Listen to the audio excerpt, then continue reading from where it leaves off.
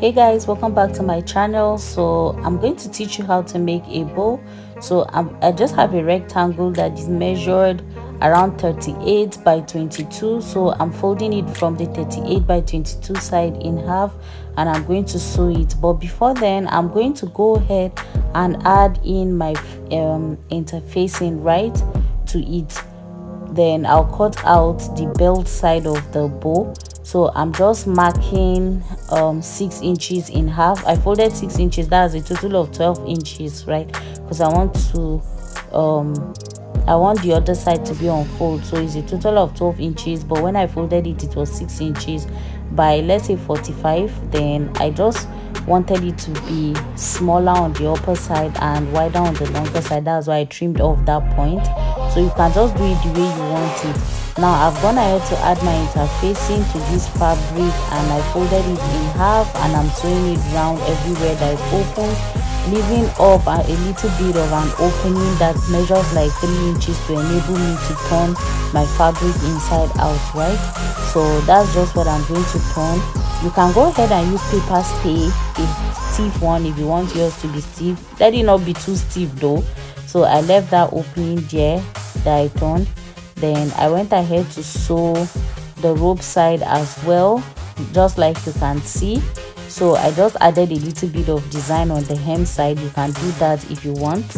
I just made a triangle at the hem and then i turned it over and gave it a nice press. Then i came back to so finish is what up. we have now and this is the hole that i used to turn it back in. So when i go to iron it i'm going to lay it properly like this tuck in all the raw edges and give it a nice press. I can place hemming gum inside here so that it holds the two sides together and i'll give it a nice press so i'll go ahead and iron that then i'll come back to you.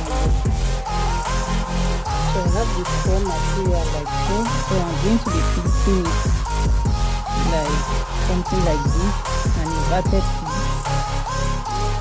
like so. I'll make another piece here what I want to do is to get this middle point to be smaller right? So you have it like this. So I'm going to bring the other long side. That's you can see what I did at the hem. So this is lovely. It's just for extra aesthetics. So you just place it this way. You want to wrap it around the mid side of the bow and you want to tight it as tight as possible to cover that seam there. So I'll just drag it and you place one opposite each other like this right? You make sure they are not sitting on each other right?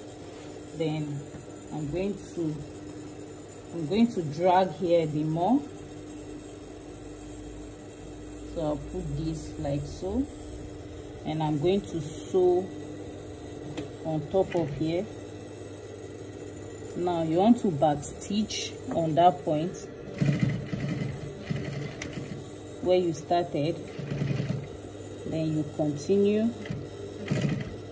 I'm sort of making slight pleats there and I'm trying to catch a little bit of the of this main material right?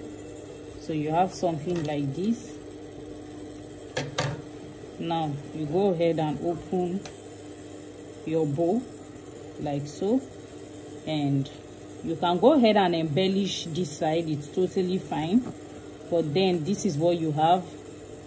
So you can try if you use a harder um, paper stay you can get a more stiff result but this is what it looks like. So you place it on any fabric of your choice wherever you want it to be you go ahead and place it. So this is what it looks like. So this was the finished look. So you can go ahead and attach it to any design of your choice. And this is it about the video. See you in my next tutorial guys